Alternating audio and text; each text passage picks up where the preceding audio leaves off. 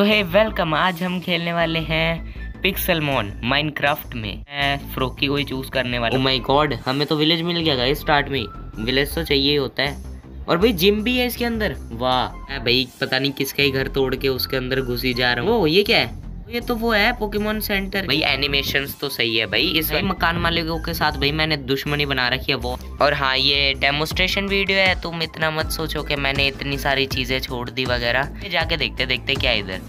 ये क्या है? ओ सामान बेच रहे भाई ये तो। Ultra ball friend ball luxury ball सारे बॉल बेच रहे और ये। तीन सौ एक भाई लूट मचा रखी है इधर तो।